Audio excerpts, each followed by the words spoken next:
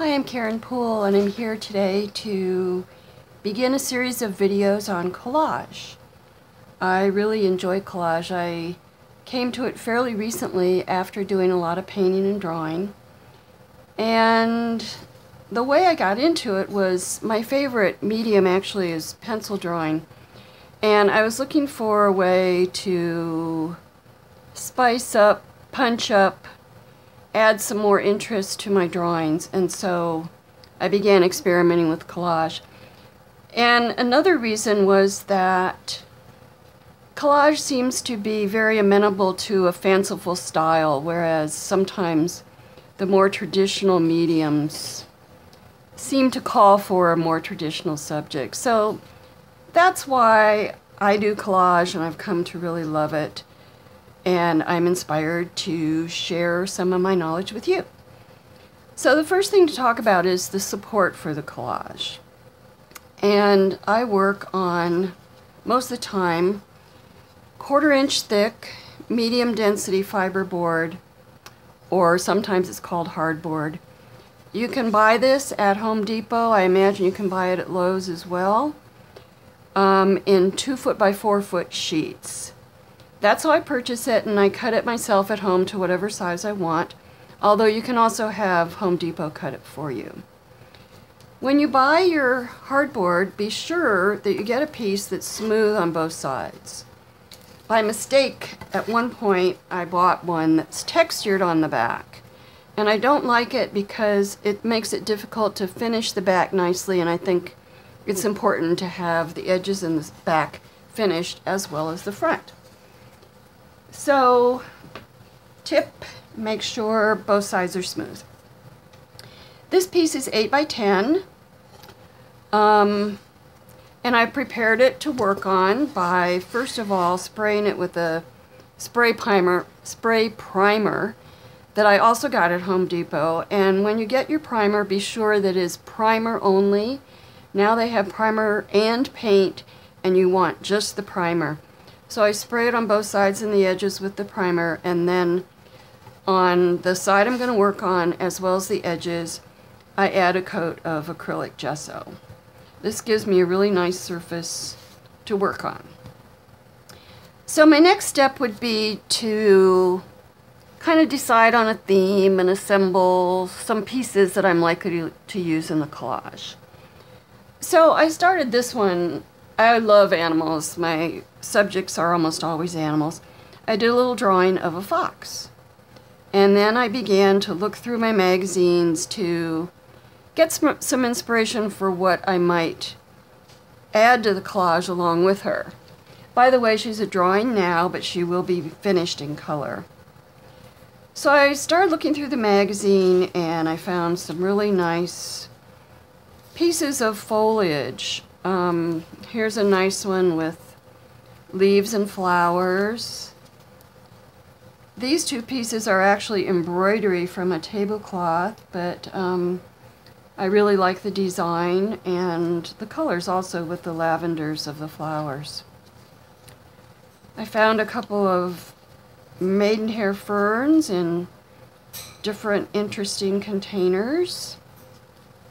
And then I found this fabulous thing, with which is so strong in, in design and movement and so on. So this is going to, I think, feature pretty prominently in the piece. So now I have not only my subjects, foliage, and my fawn, but also my color, main colors, which are green and purple. So in addition to those, I found this really beautiful paper guest towel with all different kinds of butterflies on it and I have torn out one of the butterflies probably to use. I have a group of these pretty postage stamps with butterflies on them. I got these on Etsy. I just searched for vintage postage stamps, butterflies. And there were lots to choose from, so. And I picked these out from the selections that I bought because I think the colors are going to work for me. I also have from the magazine pieces whose colors I really liked that I thought I might be able to use. This one in particular, this is really pretty. So those are available for me if I decide to use them. I also very much like this piece from a piece of scrapbook paper. I love the text and this swirl. And also the edge is perforated. Even if I wanted to use the paper, if I did it first, I could turn it over and use the edges as a stencil. And then I may or may not use this piece of tissue paper. And this tissue paper I stenciled with um, gesso and then I put watercolor washes over it and the watercolor, the gesso um, repels the watercolor so you end up with an image of whatever color gesso you use. Sometimes I'll mix a color of paint in with the gesso um, or actually just use acrylic paint and then then the watercolor washes. And when amazingly, when you use it in um, your collage, the colors, even though they're watercolor, they don't um, run. So, you know, something like that, I don't know, might be pretty. So we'll see. We'll see about using this. Hmm, now I'm thinking, maybe I really want to do want to use it right in the beginning. So let's lay out a couple of things and get the old creative juices flowing. Um, no, I don't think I'm going to use the tissue paper to begin with. Okay, so from the pieces that I cut out for the collage, or selected for the collage. I chose some paint colors that I think are going to go quite nicely. And I'm going to, first of all, paint a background over the whole piece. So I'm going to um, squeeze these three colors out on my palette. By the way, I like using this Americana paint, acrylic paint by Deco Art because it's nice and opaque. When you want an opaque paint, this is this works really well, really well. So there are my three colors. And I'm just going to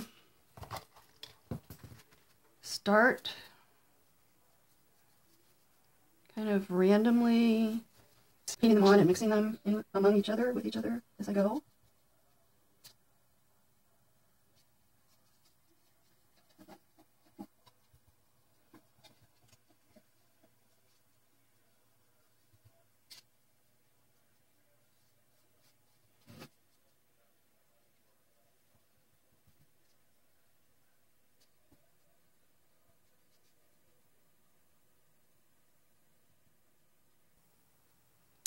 So I think that's already kind of pretty. And we'll let that dry.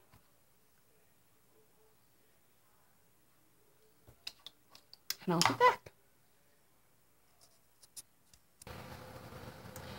Okay, I'm back. I've painted the base. Um, used three different colors, although they're also they're so close to each other that you know it just gives a little texture. So now I'm going to start with the first collage elements, which are going to be my main guy, this pretty one, and a couple others. So first of all, I want to tell you that the product I like to use for the adhesion on the collage is Liquitex Matte Gel.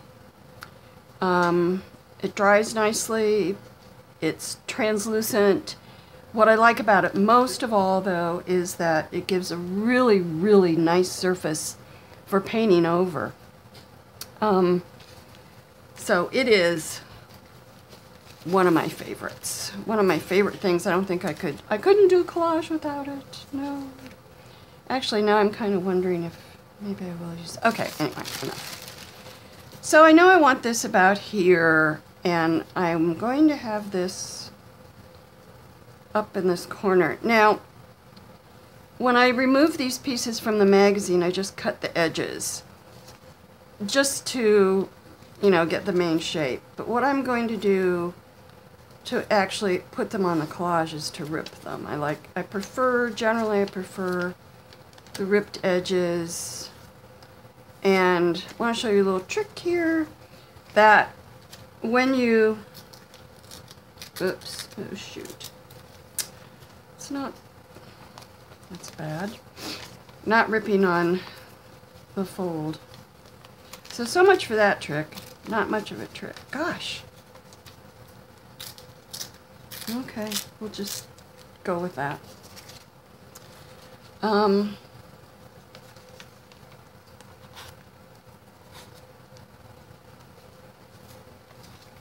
so usually if you fold it couple times, then you can rip it pretty nicely, but this one just doesn't want to cooperate. All right, anyway, that'll go up in the corner, but I don't want all this, so I'm going to tear this away.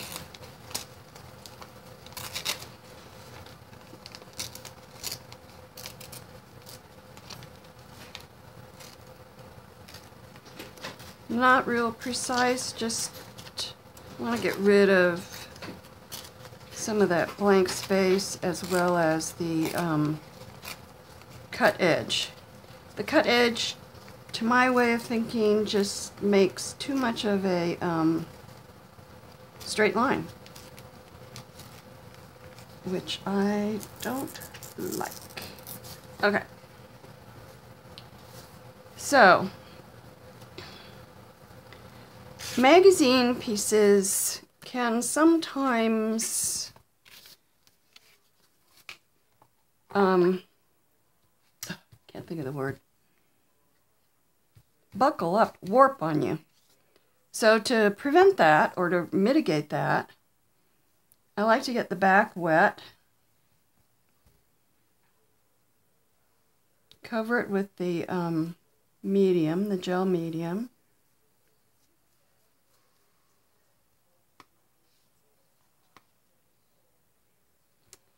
and then again gel medium on the area you're going to place it on.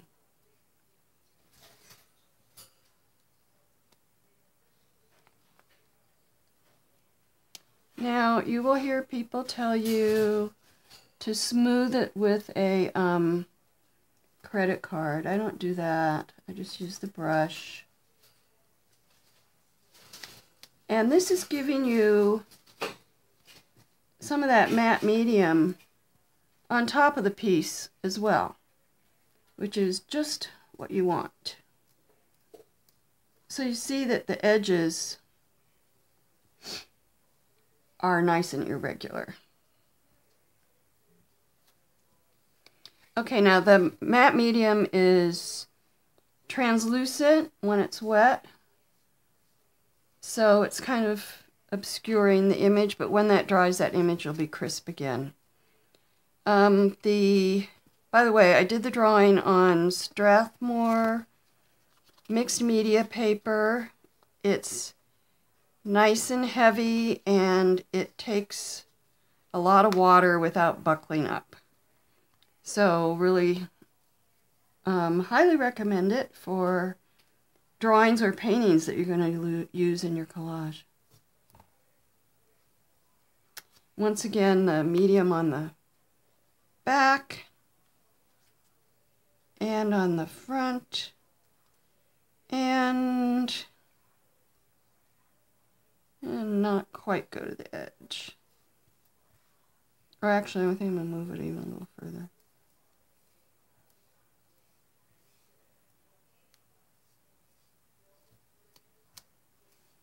Now the um, mixed media paper is, like I said, thick. and it is made up of several different layers. Here's the piece that I tore this guy out of. Um, and you can see maybe on this piece, this edge, it's pretty rough. When you, when you tear, the piece that you're tearing down from is going to have this edge, this nice edge on the front. On the back is this raggedy edge. So if I tear down, and let's say this is the right side, I'm going to get this nice edge. If I tear up, I'm going to get this edge that shows the different layers. So just keep that in mind when you're tearing. Um, what type of edge do you want? Um, the next pieces I have are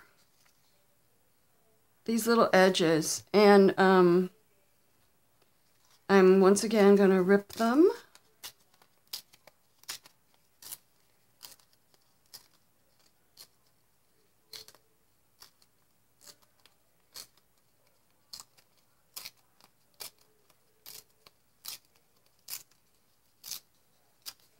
Now this one, I'm thinking that I'm probably going to have a border of some sort on this piece. So because this design is so close to the edge of the, of the page, if I put this right against the edge, then when I do my border, I'm going to lose a lot of those flowers. So instead, I'm going to bring it in a little bit, just like I did the fox. Um, kind of trying to guesstimate where my border on my finished piece will be. So put um,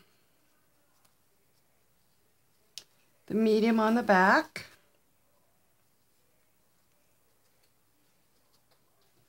Put the medium where it's going to go.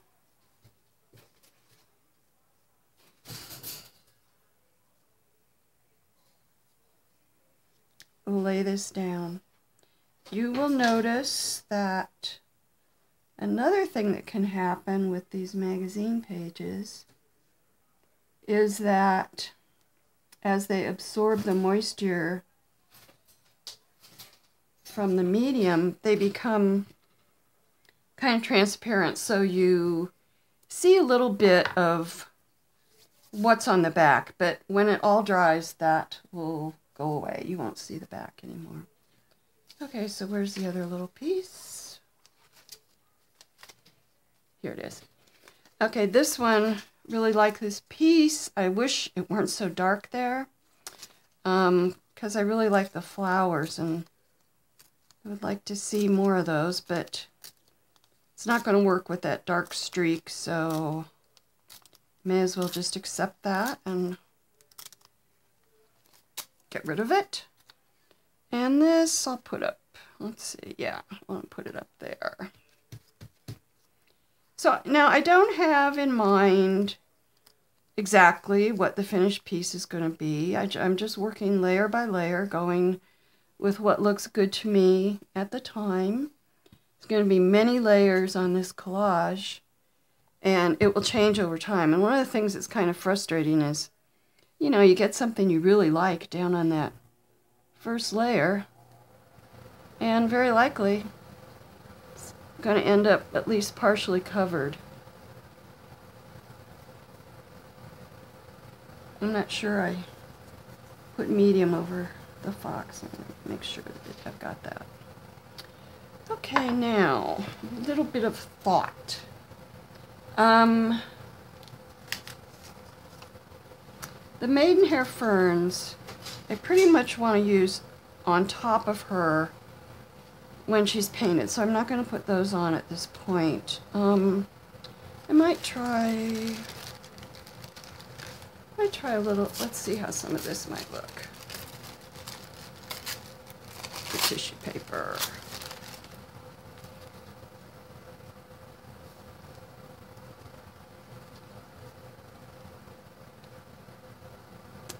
Well, I don't want to cover the, um, those purple flowers. But it can go there.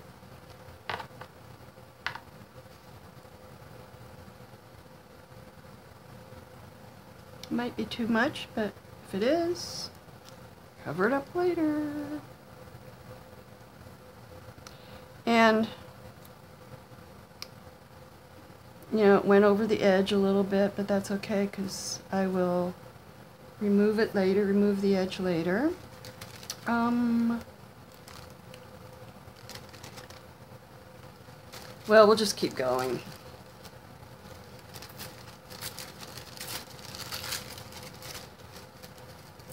It's just, it really is um, trial and error. You put something down. If you don't like it, if you decide you don't like it soon enough, you can probably pull it back up. Um, otherwise, just do something over it later and everything will be fine. So I'm going to put this here.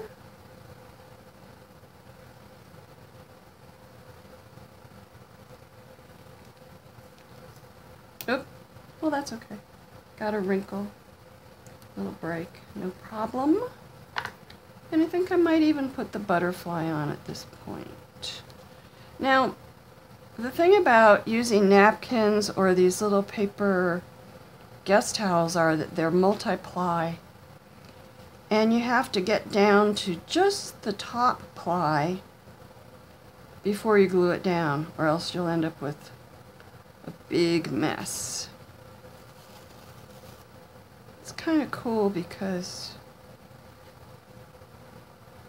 the bottom layer has just this tiny little I'm going to save that. Not the bottom layer, the middle layer. Has the lightest possible impression of the butterfly, which I might end up using again later. So for now, where's he going to go? He's going to go...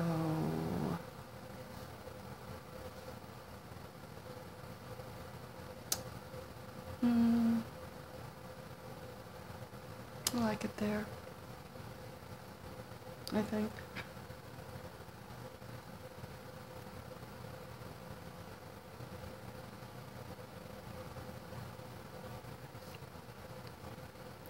The tissue paper is very, very thin. So you want to be careful to, not the tissue paper, this um, napkin paper, the one ply, very thin. So you don't want to rub it around a lot. See now I'm all overdoing it, getting wrinkles. Okay. Um, is that it for now? I don't know. Kind of like that. Um,